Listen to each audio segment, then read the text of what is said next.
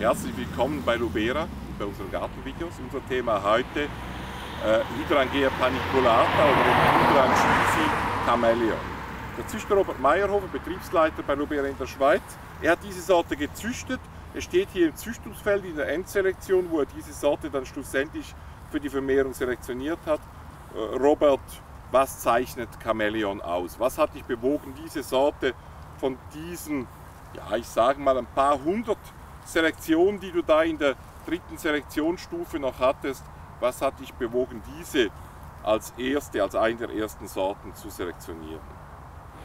Äh, ja, ich habe mir gerade gedacht, eigentlich muss ich gar nicht viel, viel dazu sagen. Ich finde, die Sorte spricht für sich. Also wenn man die, die Reihe hier entlang läuft, man bleibt relativ schnell oder meistens bei dieser Nummer oder Sorte Chamäleon stehen, weil sie auffällt. Sie hat einen relativ kompakten Wuchs, ist jetzt, man sieht es, äh, Meter, Meter bis Meter 20 hoch. Kann je nach Jahr, wenn sie nicht ganz so viel Triebe macht, ein bisschen höher werden.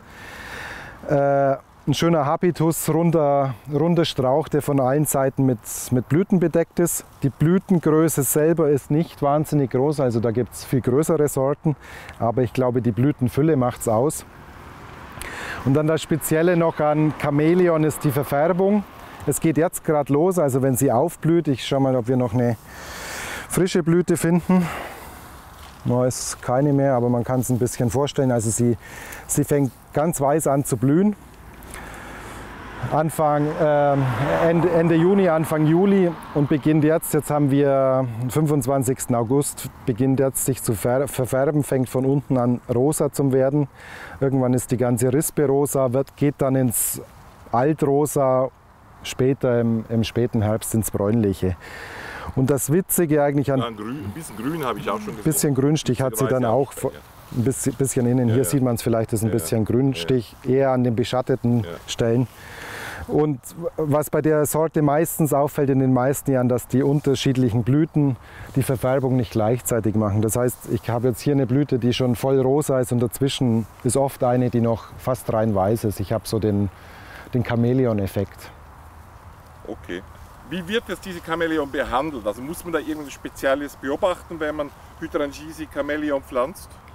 Nein, eigentlich nicht. Also die Hydrangisi, auch Chamäleon, ist völlig winterhart, egal ob im Topf oder im, im Garten ausgepflanzt. Äh, sie verträgt fast alle Standorte. Saure Böden, neutrale, kalkhaltige Böden. Hier steht sie auf einem recht kalkhaltigen Boden. 7,5 BH 7,5. Genau macht hier nichts aus. Man sieht es, eine normale Bauernhortensie wird das hier nicht gut überstehen. Äh, sie verträgt volle Sonne, sie verträgt Trockenheit besser als, und Hitze besser als Bauernhortensien, also eigentlich die einfachste Hortensienart. Wir empfehlen Hydrangisi im Winter einfach runter zum Schneiden auf 10-15 cm über dem Boden.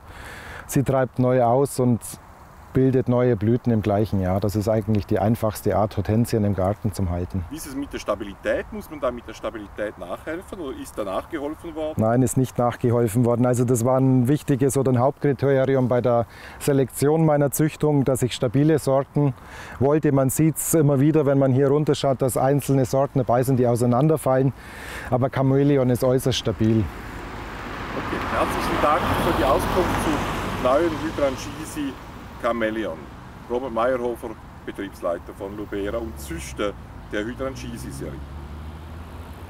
Hm, wie geht's weiter? Aber ich kann Ihnen helfen. Hier geht's zu Lubera.com, dem Shop mit über 5000 Pflanzen und über 5000 Gartenprodukten. Hier, hier können Sie den YouTube-Channel abonnieren. So geht's weiter. Pflücken Sie jetzt Ihre Blumen.